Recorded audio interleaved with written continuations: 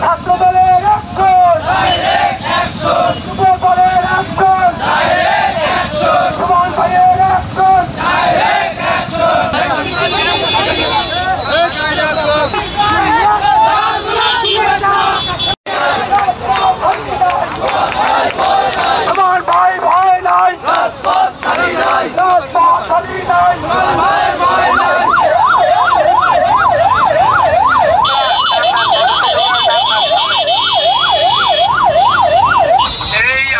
পাঁচই আগস্ট যে বাংলাদেশ আমার যে স্বাধীনতা হয়েছে লাভ করেছি, সেই উপলক্ষে আমাদের বিএনপির চেয়ার ভারপ্রাপ্ত চেয়ারপারসন জনাব তারেক রহমানের আপনারা সালাম গ্রহণ করুন।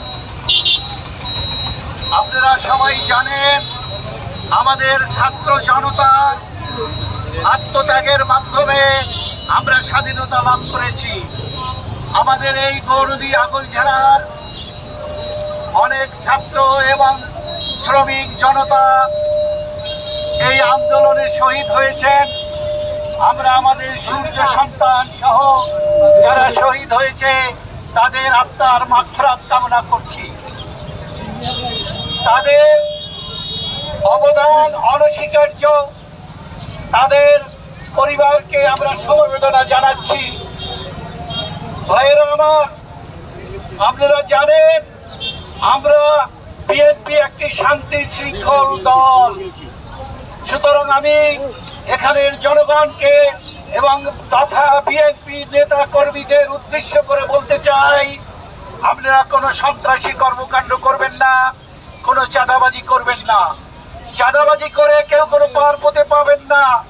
আপনারা জানেন, দেয়ালেরও কান আছে, দেয়ালেরও চোখ আছে। আপনারা মনে করেন যে আপনারা পার পেয়ে যাবেন।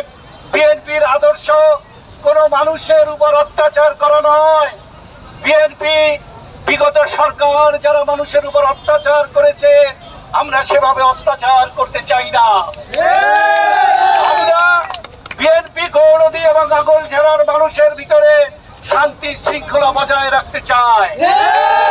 আমি এখানে ব্যবসায়ী সমাজ তথা হিন্দু সমাজ ভাইদের কাছে বলে দিতে চাই কেউ যদি আপনাদের উপর অত্যাচার করে, চাঁদাবাজি চায়, তারা আপনাকে, তাদের ওইসব লোকজনকে আপনারা বেঁধে রাখবেন। প্রশাসনকে খবর দেবেন, আমাদের খবর দেবেন, আমরা উপযুক্ত ব্যবস্থা নেব। আর একটা জিনিস আমি না বলেই পারছি না দু হাজার একের কথা গৌরদী জনগণ ভুলে যায় নাই। সুতরাং আপনারা আবার দু হাজার একের সেই রামশীল সৃষ্টি করবেন না।